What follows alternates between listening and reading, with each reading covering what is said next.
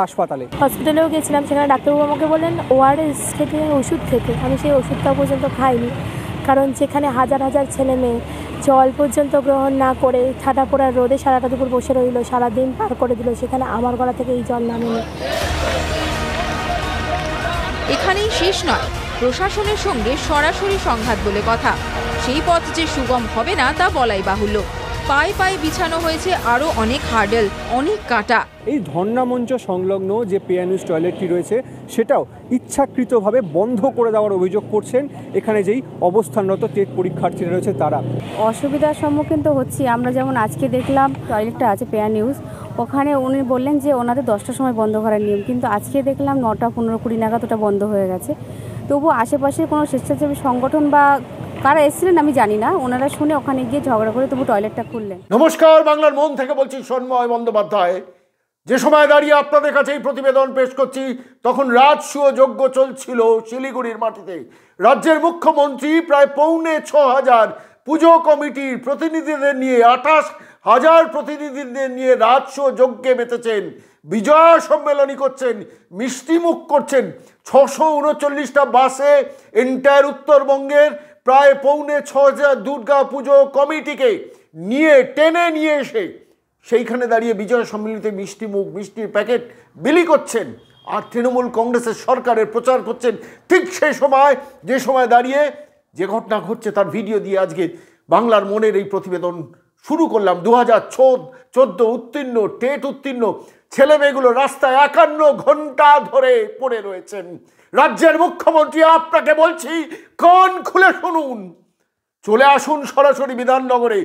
নিঃস্বার্থভাবে ক্ষমা চান। বলুন প্রত্যেকের চাকরি হবে, যাদের চাকরি আমরা, আমাদের তৃণমূল কংগ্রেস সরকার বিক্রি হতে দিয়েছি। সামান্য লজ্জাবোধ রাখুন। পাঁচ কোটি টাকার রাজ্য যোগ্য একটা শিলিগুড়ির মাটিতে বিজয় সম্মেলনীতে হলো। আর তারপর তথাকথিত মেনস্ট্রিম বাংলার সংবাদ মাধ্যম আনন্দবাজার বর্তমান এই সময় নিউজ এইটিনের মতো নির্দিষ্ট কিছু চ্যানেল তারা মানবিক মুখ্যমন্ত্রীর মুখ খুঁজছেন, মালে গিয়ে কাকে চাকরি দিয়েছেন বলে। এই ছেলেমেয়েগুলোকে আটটা বছর ধরে তাদের চাকরি থেকে কেন কিসের জন্য বঞ্চিত করেছেন? এ প্রশ্নের জবাব বাংলার মানুষকে দিতে হবে, বাংলার মনকে দিতে হবে। বাংলার মন থেকে বলছি, বুদ্ধিজীবীরা, যারা এখনও ঘুমিয়ে আছেন, জয় গোস্বামী যিনি ঘুমিয়ে আছেন, শ্রীজাত যিনি ঘুমিয়ে আছেন, কৌশিক সেন যিনি ঘুমিয়ে আছেন, অপর্ণা সেন যিনি ঘুমিয়ে আছেন, নৃসিংহ প্রসাদ ভাদুরী যিনি ঘুমিয়ে আছেন, সুবোধ সরকার যিনি ঘুমিয়ে আছেন, আরও লেখক, শিল্পী, সাংবাদিক, আপনারা ঘুম থেকে উঠে দেখুন, আপনাদের ঘরে সন্তানরা চাকরির পরীক্ষা দিয়ে উত্তীর্ণ হয়ে একান্ন ঘণ্টা ধরে সামান্য মুখে জল না দিয়ে বিধাননগরের প্রাথমিক শিক্ষা পর্ষদের অফিসের সামনে পড়ে আছে। কোন অপরাধে? কিসের অপরাধে? এরপরেও নিজেদের বুদ্ধিজীবী বলবেন, তথাকথিত বাংলার সংবাদ মাধ্যম, এরপরেও জাহির করবেন যে আপনারা বাংলার মানুষের হয়ে কথা বলেন। যখন পাঁচশো রাত, পাঁচ কোটি রাজস্ব যোগ্য শিলিগুড়িতে চলছে সেই সময়, বিধাননগরে আমার আপনার ঘরের সন্তানরা কীভাবে মরতে বসছে? তাদের পে অ্যান্ড ইউজের টয়লেটটা পর্যন্ত আগাম বন্ধ করে দেওয়া হয়েছে। এই পুলিশকে দিয়ে কি শাসন বাংলায় চলছে? এটি আর আরেকটি জ্বলন্ত উদাহরণ। আমরা বলছি দু হাজার চোদ্দ টেট উত্তীর্ণ যারা ছেলেমেয়েরা, বিধাননগরের মাটিতে পড়ে আছেন, আপনাদের প্রত্যেককে বলছি পাশে আছে বাংলার মানুষ, বুদ্ধিজীবীরা ঘুমুন, তারা বঙ্গশ্রী বঙ্গ বিভীষণ পুরস্কার নিন। আনন্দবাজার বর্তমান, এই সময় নিউজ এইটিন অনুপ্রাণিত চ্যানেলগুলো বিজ্ঞাপনের লভে বিক্রি করে দিন নিজেদের। কিন্তু এ লড়াই কিন্তু বাংলার মানুষের লড়াই, আপনাদের বাবা মা যাই যিনি হন আপনারা প্রত্যেকের ঘরের সন্তান, আমাদের ছোট ভাই, আমাদের ছোট বোন, যে লড়াই আজকে আপনারা লড়ছেন, ইতিহাসে আপনাদের জায়গা থাকবে। আপনারা চাকরি পাবেন কি না জানি না। আমরা বলছি, সমস্ত আইনজীবীরা চলে আসুন, সমস্ত রাজনৈতিক নেতাদের নেতারা যদি স্পটে না যান প্রত্যেকে পথে নামুন, রাস্তায় নামুন, বাংলাকে অচল করে দিন একজন নৃশংস রাজ্যের প্রশাসক। পাঁচ কোটি টাকা ব্যয় করে যখন শিলিগুড়ির মাটিতে বিজয় সম্মেলনী করেন, তখন বাংলার রাজনৈতিক তথাকথিত রাজনৈতিক নেতারা কেন ঘুমিয়ে আছেন? কিসের জন্য ঘুমিয়ে আছেন?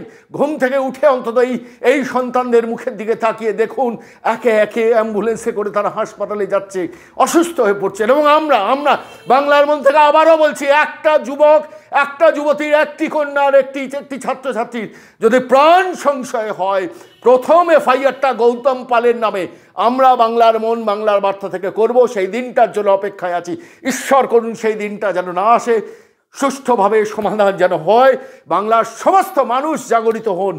যারা তৃণমূলকে ভোট দেন, যারা পাঁচশো টাকার লোভে মাটি মানুষকেও ভোট দেন তারা অন্তত এদের হয়ে কথা বলুন মুখ ফোটা কথা বলুন সব হারিয়ে যাওয়ার আগে। হাসপাতালে। হসপিটালেও গেছিলাম সেখানে ডাক্তারবাবু আমাকে বললেন ওআরএস খেতে ওষুধ খেতে আমি সেই ওষুধটাও পর্যন্ত খাইনি কারণ যেখানে হাজার হাজার ছেলে মেয়ে জল পর্যন্ত গ্রহণ না করে ঠাটা পোড়ার রোদে সারাটা দুপুর বসে রইল সারাদিন পার করে দিল সেখানে আমার গলা থেকে এই জল নামেনি।